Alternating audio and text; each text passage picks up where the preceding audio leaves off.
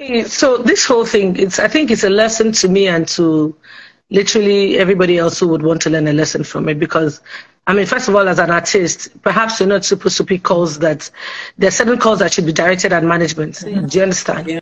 This kind of calls falls into that category. So first of all, I'm already just looking at myself like this is all your fault, you know, because obviously, why are you talking to Jiget, someone who you don't? But then again, this guy contacts me and says he's from a friend, a colleague in Ghana, who is like a very, also a highly placed um, actress. Do you understand? He says, oh, he got my number for that. He has worked with a girl in the past and that they had that working relationship. I mean, ordinarily, I should have perhaps called the girl to say, okay, do you know this person? But I just didn't think he, you know, he, he didn't just it didn't. I don't know why I didn't go through with it, but I should have, you know. And that, that's one of the things that even made me up about the only thing that made me like, okay, relax and okay, so what's up? We kept on talking about oh, the script, send the script. The script is coming through, this one is going through that one. is doing like a lot of long talk about how the job, how he wants the job to be and blah, blah, blah, blah, blah. So I guess this guy is just calling, texting once in a while about the production he wants me to be involved in. And I'm like, okay, send the script because that's the first approach and we go back and forth and back and forth. So that's just if, you, are talking about how I even got to to get my number, whatever. Somebody whom I respect giving my number, and that's how I even got to talking to him in the first place. But that was just work at the first instant. Do you get?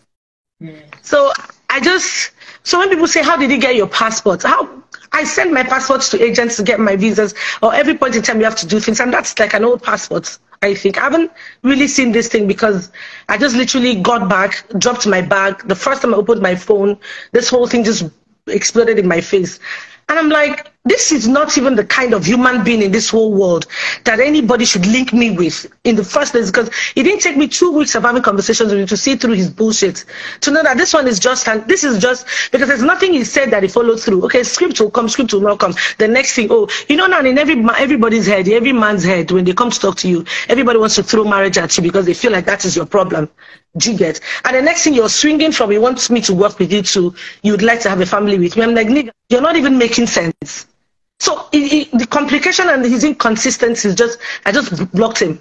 I didn't have conversations with him up to once or twice. He don't call me for video call.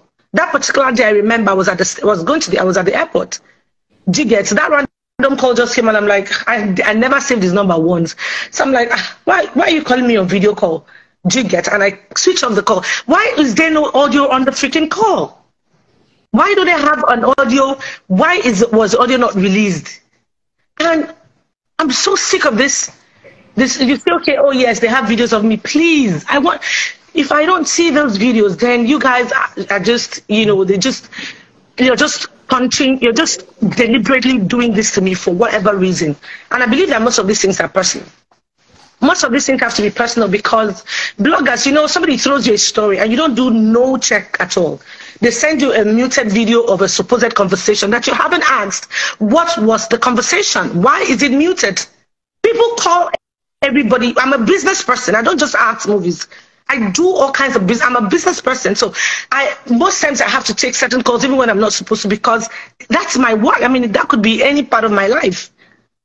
So, and then how? Like I had no idea about this, none of these things until Two weeks after that time, I think Uche called me. I said, "Oh, babe, do you do you know this guy?" I sent him a picture of some guy, and I'm like, "Yes." so this is the same guy that I spoke that you know was was talking to me about two weeks ago.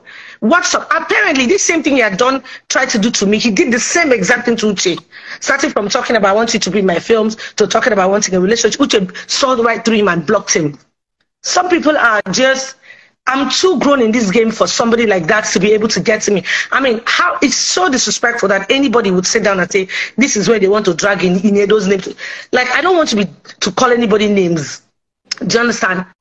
But I don't want to call him a name. But the truth is, I would rather die than anybody to allow such a name stick stick on my name. I have worked too hard for that for me to let that shit slide. So like saying- to think that's okay so what? you saying that you have not met the guy before physically? You have not I have never, Auntie Zuki, in my entire life. I have never set eyes on this guy. We spoke a couple of times in a period of two weeks, and I gave my again. Let me even tell you what made me block this guy. It was like I said yesterday. I was just too tired yesterday. I wasn't coordinated and I just couldn't sleep. I had to just put that out. So he called me. he said, okay. Oh, I said, oh, he needed us to see to talk about, to conclude on the film. I said, no, I'm not available. I'm going to be traveling. And they said, okay, oh, that is meant to come on that same team that is, you know, the, friends with. I don't just want to call names. I don't want to because obviously somebody who's a serial liar would bring in names just to make his story look believable. So that's why I don't want to even give that credit of mentioning anybody's name. So he said, oh no, that is friends with that person and that is going to go for the same wedding. Okay, now fine, let's talk when we get there. Okay, let's do, okay, I'm going to help you get your passport. Okay. And the next thing is uh, get your, get your ticket. He says, okay, send me your passport page. I said, I can't send you my passport page. This this is my agent. I've spoken to my agent. He has given me a breakdown of ticket. That is it. You can you can sort it out with the agent. And he goes, no, that why can I give him my passport? I said, I cannot give you my passport page. I have the chart of these conversations. It was at that passport page point. I'm like, you know what? Why the fuck am I talking? But someone won't buy tickets. Well, he must collect my. What? What do you? What is your business with my data page that I must send to you? Because so the whole thing was already sounding really messed up and stressful. I said, no. I, anybody that knows me knows that's. A, I run away from those kind of things. Like I just blocked him. I'm like, why am I even talking to this guy? I just blocked him, and that was it. This is a span of two weeks. Literally about two weeks after, this girl calls me to say, oh uh, do you know this? I said, yes, you. And then that's how I realized that this guy was dating this other lady and that they had done all that and had all that bohaha, whatever, whatever, whatever. Says, I jumped right into this matter because apparently Uche and I had already discussed amongst us. We realized that we had he, this same guy was did use the same format he tried to use on me on Uche. But Uche was also smart enough to cut him short in the middle of the conversation to also block him. So you are not we, we are not you fell for this shit that has nothing to do with us you cannot try to drag anybody else into this do you understand I, I feel like it's absolutely wrong. I mean, there are limits to things that one can take. I would, that's that's not the kind of person in this my whole life that anybody should put my name and put the person's name. I will okay. not accept okay. that level of disrespect.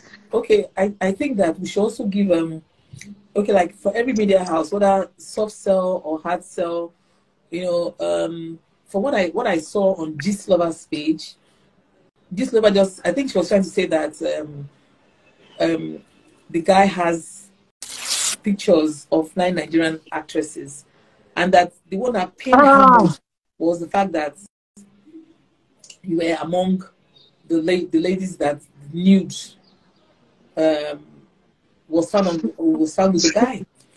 So I I, I think that. Uh, I think for I think for Gist Lover, um, I think maybe she just he or she just felt that oh, Ini should not be in this in this mess. No, that's not the case, Auntie Zuki. Let me tell you what the case is. The case is that particular person and whoever is sponsoring him or her. There's obvious there's an obvious thing that they have about me that is driving them wild, that makes them to look for these stories, no matter how untrue it sounds, but they will post it there because it's in me for whatever reason or whatever recognition they want me to give them. It's, a, it's something that has been consistent over time. I'm sure people by now would have noticed it.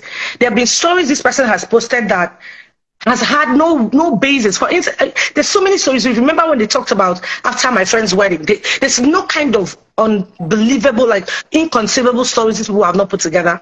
And I know there's someone behind it, and I know the person who is giving who is trying to use these blogs against me. See, let me tell you the one thing I realized about blogs. So all they need to all they need is find one person who has a vendetta against you.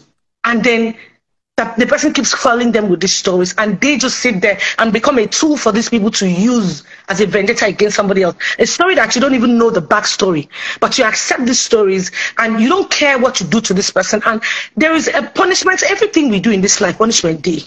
Do you understand?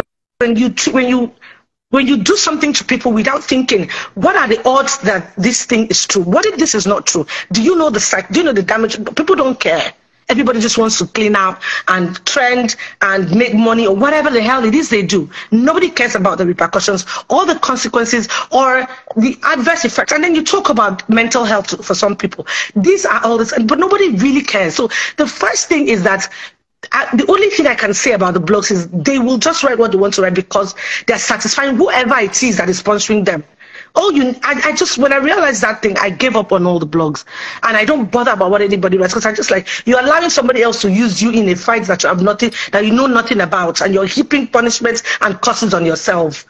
Because the truth is that you will reap what you have sown. What's so, so you keep, if you keep damaging somebody who you have not verified the story and that story is not true, and you keep finding ways to try to damage that person, you will answer to it.